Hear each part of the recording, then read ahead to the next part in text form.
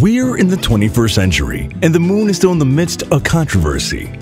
There are many governments and private companies that have different purposes for this natural satellite. Of all the plans, the most controversial is that of Jeff Bezos, the CEO of Amazon. Do you want to know what this mogul intends? Stay with us to find out, because it turns out the moon holds more secrets than we imagined. Ready to join the finest squad?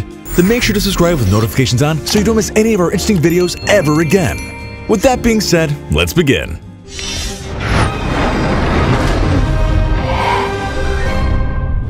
UFOs on the Moon On May 2012, in Richmond, Texas, Bill Bryson, a ufologist and amateur astronomer, was at home watching the moon with his telescope.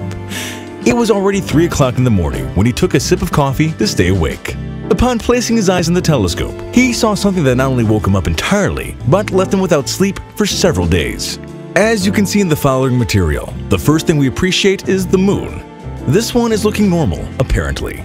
We can immediately notice how a series of strange black bodies appear and disappear at an incredible speed. As if this weren't impressive enough, in a later take, many more of these fast unidentified objects are displayed.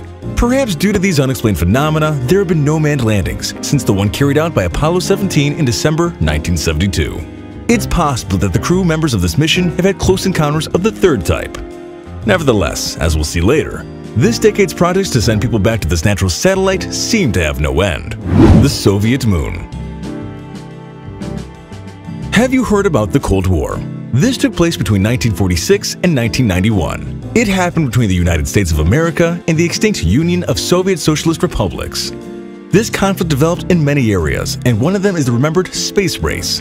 Vladimir Pavlovich Barmin was a scientist born in Moscow who was in charge of designing the first Russian spaceport.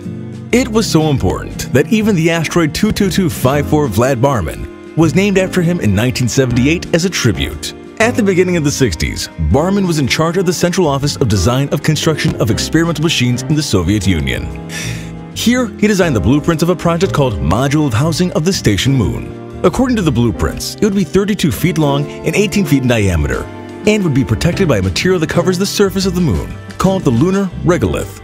The development of an underground lunar station was also projected.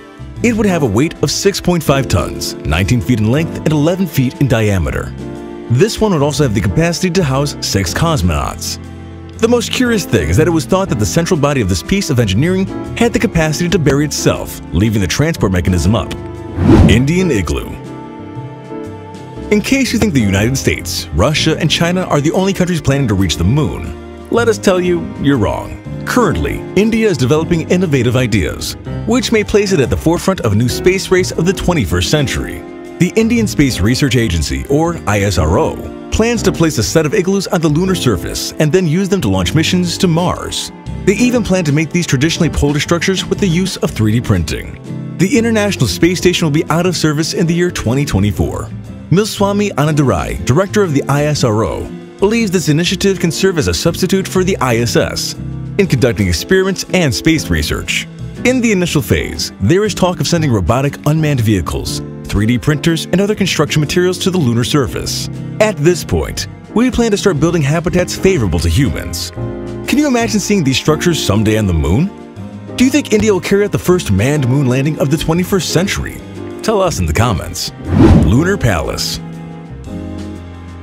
Thus far this century, the People's Republic of China has become a world power. Within its plans are to lead advances related to multiple fields of science, including cosmology. What is the first thing that comes to mind when you hear the phrase Moon Palace? Maybe you'll think of some science fiction movie like Iron Sky. Well, we inform you that the Chinese leader Xi Jinping has given statements in which he talks about developing this megastructure in the near future. According to Wu Weiren from the China National Administration Space, this project will be launched in the year 2030. This research center would have multiple cylindrical booths where the scientific staff would live. These modules will be around a central structure in which several laboratories will be located. This complex will be located at the south pole of the moon, motivated by the amount of solar energy received here. They also want to create a probe in the direction of Mars. In fact, a search for astronauts willing to inhabit this building is already underway. Business on the Moon no deal, that moon money is mine. Do you know this reference from Homer Simpson? Recently, it took effect when Jeff Bezos, CEO of Amazon, Announced during the International Space Development Conference 2018 in Los Angeles, his plans to take several of its factories to the moon. This through his space company, Blue Origin. To do so, he wants to create moon compartments with the joint collaboration of NASA and ESA. If this isn't possible, he plans to follow his innovative venture 100% privately. The fundamental reason for this idea is to contribute to the reduction of global warming produced in part by the multiple industrial complexes located on our planet. For now, Bezos is in search of alternatives that lower the cost involved in bringing people to this natural satellite. Since he states that, with the right vehicle, you can go and return in a couple of days. He even mentions that the existence of moon ice deposits opens the doors to the consumption of drinking water for those who work in these otherworldly industries. Cemetery on the dark side of the moon. If there's something that still causes intrigue is the dark side of the moon. This has served as inspiration for ufologists and conspiracy theorists that talk about Adolf Hitler hiding here after his defeat in 1945. The band Pink Floyd even used this phase of the moon to give name to its most emblematic disc in 1973. Recently, it has been revealed the existence of a real cemetery on this surface. But don't be scared. The reality is a bit disappointing. It's a junkyard. All the missions sent to this natural satellite have left here some residue after their return to Earth, including unmanned vehicles that have been confined to the space after being unincorporated. There are six space probes found in this junkyard, five of which were shipped by the United States and one by Japan. It's also possible to find the remains of Soviet missions 14, 19, and 22. What do you think of this peculiar cemetery? Do you think it's possible that recycling plants will be created on the moon one day to make better use of all the scrap metal? Holidays on the moon.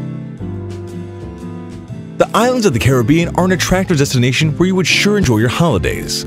Unfortunately, a Japanese tourist doesn't share this thought. This tourist for a time remained anonymous, not because of the controversy of his opinion, but because of the commotion that the place he has chosen has created. That's right, we're talking about the moon. This person, who later revealed himself as Yusaku Maezawa, would become the first SpaceX's mogul Elon Musk's company, Space Tourist. The round-trip ticket cost more than $150 million. Originally, he planned to take this trip by the end of 2018, but it has been postponed. Elon isn't the only one interested in mastering space tourism. Jeff Bezos of Amazon has plans to start selling tickets by the end of 2019 through his company Blue Origin. His proposal is more honest. In this initial phase, he offers as a destination to make a suborbital flight to Earth. The most tenacious competitor of Musk in this field is Richard Branson, founder of Virgin Galactic, whose spacecraft have already achieved a speed 2.47 times faster than the speed of sound. Russian Lunar Reconquest On April 12, 1961, cosmonaut Yuri Gagarin became the first man to reach outer space. At 58 years of this event and in the middle of a commemorative ceremony, Russian leader Vladimir Putin made an unexpected announcement that left more than one speechless. The tense relations between Russia and the United States are no secret to anyone. In fact, there are many who speak of a new Cold War. Despite all this, Putin says he won't abandon the space missions that are being developed by NASA in conjunction with the Russian Federal Space Agency. Within these plans, a joint space station stands out with a launch date for the year 2022. It has even announced the possible delivery of a manned mission by the year 2030. After achieving the moon landing, he plans to establish a permanent space base in order to investigate the land surface. Helium-3 is an attractive fuel to replace terrestrial hydrocarbons. According to Russian research, there are more than 1 million tons in the moon. It's estimated that 100 tons of this fuel would be enough to satisfy the energy demands of our planet. Undoubtedly, all these discoveries bring us closer every day to the spatial colonization. Space Force The United States has shown a renowned interest in the moon. Everything seems to indicate that we'll soon see NASA astronauts landing on the moon once again. President Donald J. Trump has recently stated he plans to extract natural resources from this natural satellite and maintain an American presence there in the long term. But what has caused controversy has been an announcement that will surprise you. This is the creation of a sixth military branch, which will be called Space Force, in the style of the Imperial troops of the Star Wars saga. And as expected, it'll be able to fight future war conflicts in outer space. We don't blame you if this sounds familiar to you.